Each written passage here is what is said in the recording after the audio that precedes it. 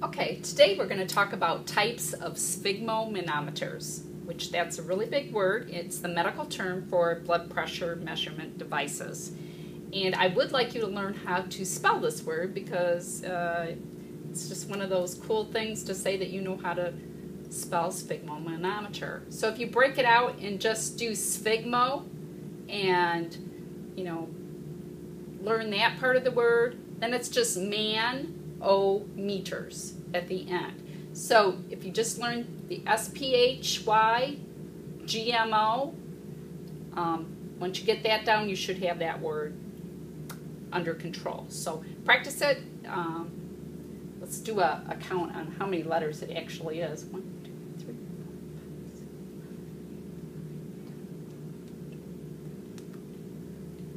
six, 17 letters total if, if it's plural. So we're going to go to the next slide.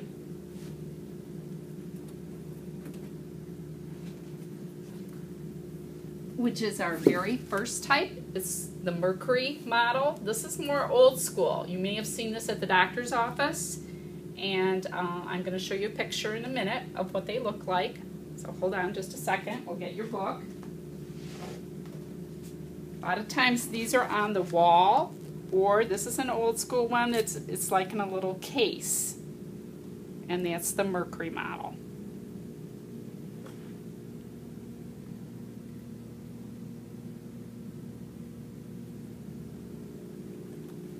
Okay. It has a long column of mercury and it's calibrated so that each mark represents two millimeters of mercury. And this is the symbol for mercury if you know your periodic table. Okay, so that's how we abbreviate it in medicine. It must be placed on a flat surface or wall mounted. And the level of mercury should be at zero when viewed at eye level. It's very important. If it's not, that means you're um, measurement is going to be incorrect. So it's very important. It might be broken if it's uh, registering not at zero. It's the most accurate instrument for measuring blood pressure. So um, this just goes to show that sometimes the older ways are the most accurate. But OSHA discourages the use due to possible mercury spills and contamination because it does actually have mercury in it. So um, that's another reason they're kind of being phased out. Okay, we'll go on to the next.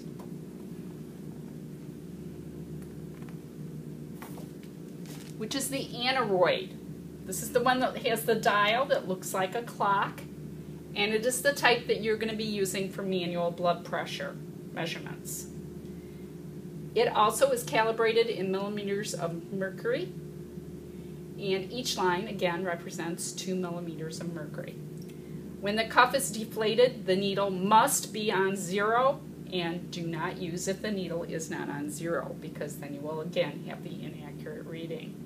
I'm going to show you a couple of different types, uh, different sizes. So since people come in all different sizes, we have to have cuffs that come in all different sizes as well. So this is going to be the one that you're going to be using in class. It's the adult model, okay, the typical size for an adult.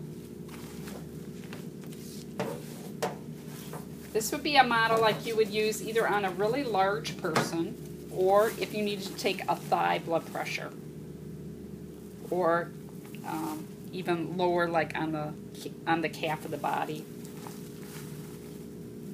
So that could be another option. We also have a child model.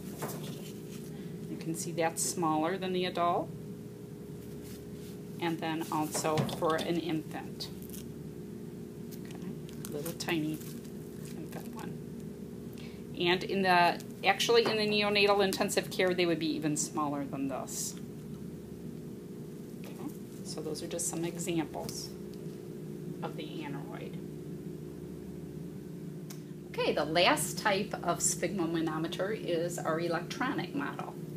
Um, this is the one that is used in hospitals frequently. You're going to see them also in doctor's offices.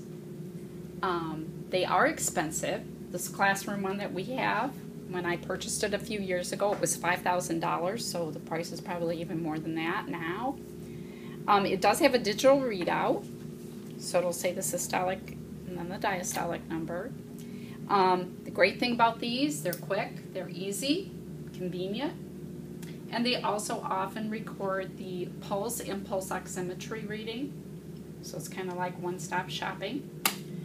Um, they might read out in odd numbers, like 101 over 73, for example, because it's not calibrated in the uh, every two millimeters of mercury. This is, um, you know, is designed to read out at the exact blood pressure. So that's why it might read in odd numbers.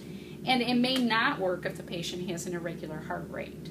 Um, this kind of confuses the machine um, and it will spit out an error, error code. Um, so you're going to have to revert to taking the manual blood pressure for, on those patients. Okay, a lot of times the elderly patients or patients with um, atrial fibrillation might uh, not be able to have their blood pressure taken with the with the digital. Um, again, a couple of different sizes of cuffs. You can see the difference between the large and the regular adult. So you just, you know, unscrew this here and screw on the new cuff size that you need.